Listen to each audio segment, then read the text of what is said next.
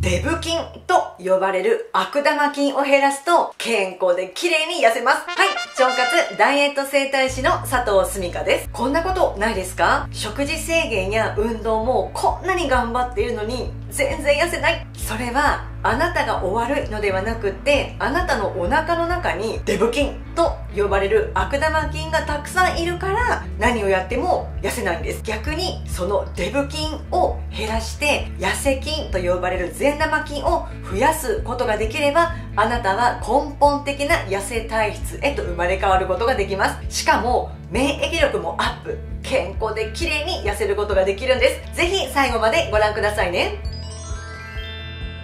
目次です。デブ菌と呼ばれる悪玉菌を減らすための目次1食べ物とは。目次2具体的な生活習慣とは。目次3気をつけること。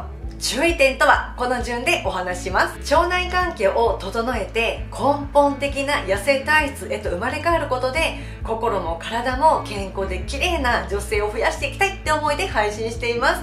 ぜひチャンネル登録していただきましてお役立てください。では目次1です。デブ菌と呼ばれる悪玉菌を減らして痩せるための食べ物の選び方お話します。その選ぶポイントはこちら。腸活メニューをバランスよく選ぶことになります。その理由はデブ菌を減らして痩せ菌を増やすから。例えば具体的に4つあります。1つ目はこちら。発酵食品になります。これは優等生なんですね。なんといっても痩せ菌たちの大好物餌となるのがこの発酵食品です。しかもデブ菌を増やすのもぐっと抑えてくれる効果もあります。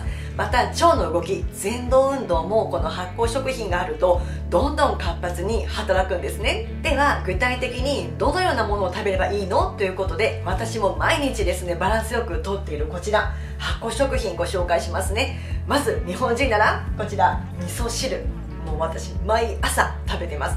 プラスぬか漬けも毎朝ですね。そしてキムチはぜひ無添加のキムチですね。化学調味料などが入っていない無添加のキムチがおすすめです。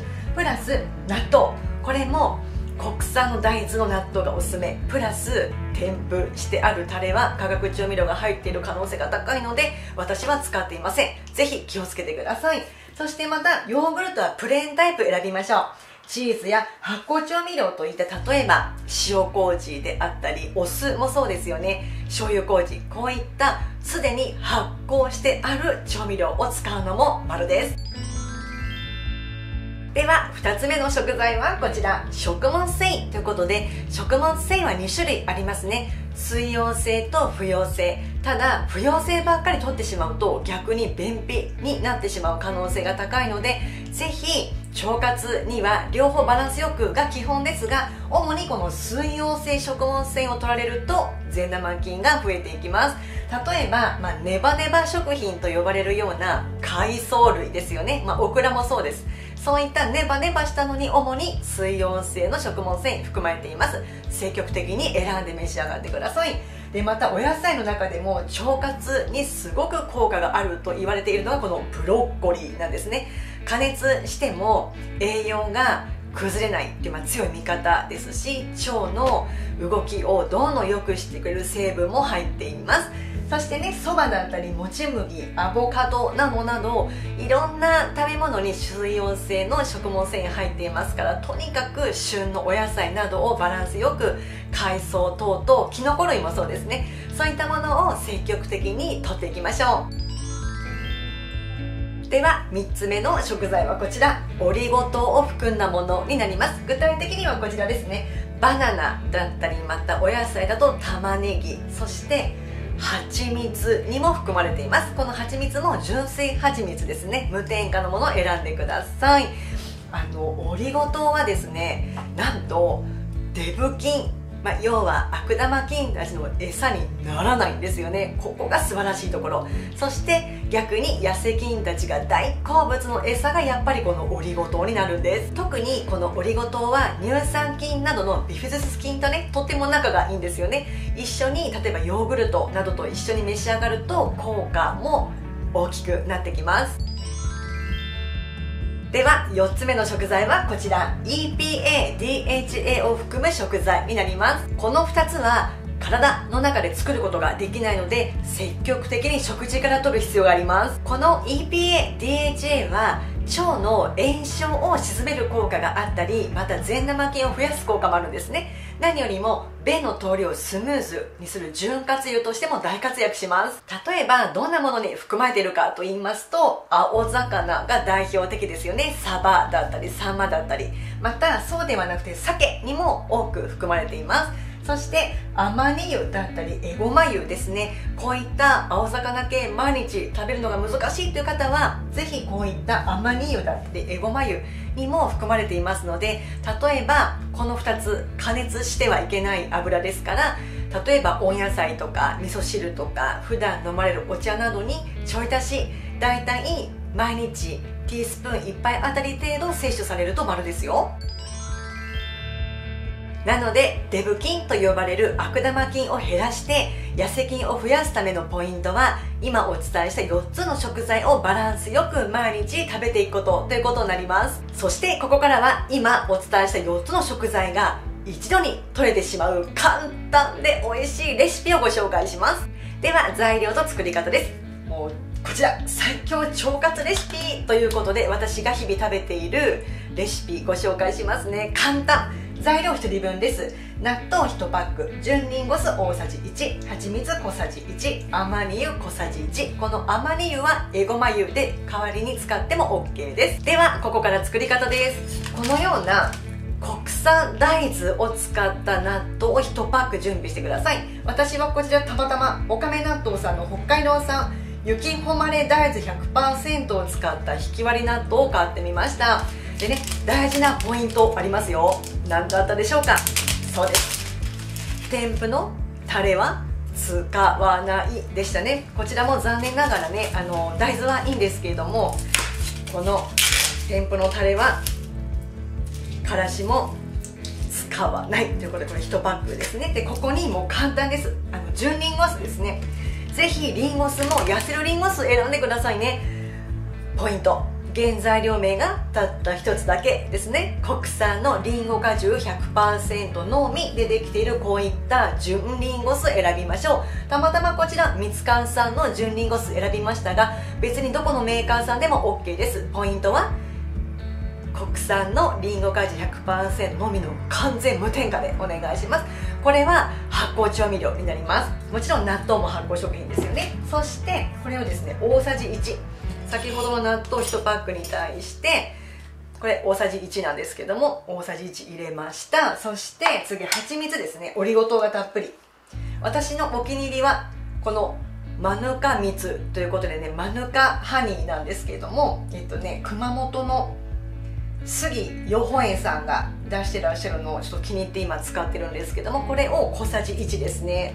小さじ1なのでまあ、これくらい小さじ1入れていただいてで最後に EPA、DHA ですねが入っているアマニ油こちらはたまたまあのトップバリューさんですねイオングループグリーンアイのオーガニックシリーズのオーガニックのアマニオイルということであの有機認定農場で栽培したということで JAS マークもついている良質のものになります。ぜひこういったね有機栽培でできたものを選んでください。でこちらアマニオイルですけれどもあのエゴマオイルも売っていたと思いますがぜひねあなたのお好みで結構です。加熱しないでください。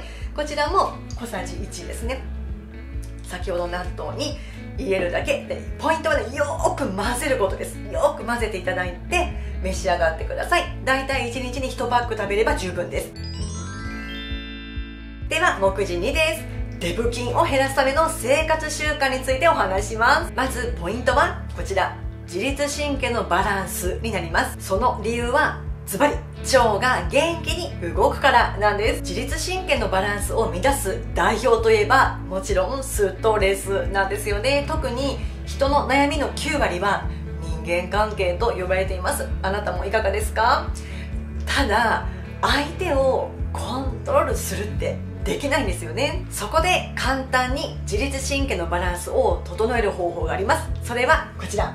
睡眠時間なんです。寝ている間に自律神経のリラックスする神経の方ですね。副交感神経優位になるんです。その時に実は一番腸って動いてくれてるんですね。ですからしっかり寝ることで腸内環境が整って痩せ菌を増やすことができます。また寝ることで痩せるポイントですね。成長ホルモンの分泌も活発になりますしまた別名幸せホルモンと呼ばれているこのセロトニンもしっかり眠ることで作ることができます。このセロトニンはあなたの暴走する食欲を抑えてくれる効果もあるんですよ。しっかり眠ることで腸が元気に動く。しかも痩せるホルモンもいっぱい作れる。一石二鳥。理想は7時間睡眠です。毎日難しい方は週に1回でも2回でもいいです。ご自分のご褒美と思って7時間睡眠チャレンジしてみてください。なのでデブ菌を減らして痩せ菌を増やすためには睡眠時間がとっても大事。では目次3つ目です。注意点ということでここ多くの方が見落としがちな盲点です。ぜひ最後までしっかり聞いてくださいね。デブ菌を減らすためにとにかく気をつけていただきたいこと。それはこちら。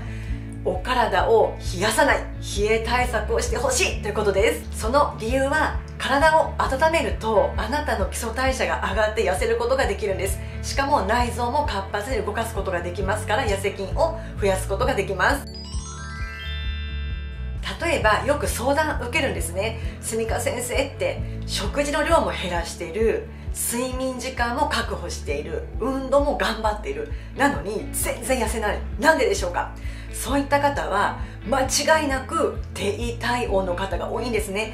平熱が36度ない大体35度台という方がそうです。そういった方々の共通点として3つあるんですね。1つ目は冬夏かかわらず氷をガンガン入れて飲み物冷たいものを飲んだり食べたりしている方。また2つ目はおしゃれも大事なんですけどもお腹や足先を冷やしてる方ですね。特に首というつく部位首手首足首あとお腹周りなどは冷やすともう冷えまっしぐらになりますから気をつけていきましょう。そして3つ目加工食品などをたくさん召し上がってる方ですね。要するに添加物を気にしていない方この添加物を取り続ける限り内臓がめちゃくちゃ冷えますので代謝が爆下がり体温も下がってなかなか痩せ菌が増えないイコール痩せることができないという道を選んでしまってるわけです。なので痩せるポイントですね。デブ菌を減らして痩せ菌を増やすためには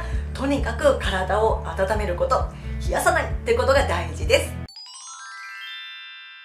ここまで動画を見てくださったあなたはもうすでに腸活ダイエットの一歩を踏み出していらっしゃいます。実際にこの腸活ダイエットを取り組んだ方で1ヶ月でマイナス3キロ3ヶ月でマイナス1 0キロを達成した方たくさんいらっしゃいます。腸活ダイエット整体師としてこれまで1万人以上の方の心と体のケアをした経験から根本的に綺麗に痩せるための腸活ダイエットの具体的な方法動画4本無料でプレゼントしています。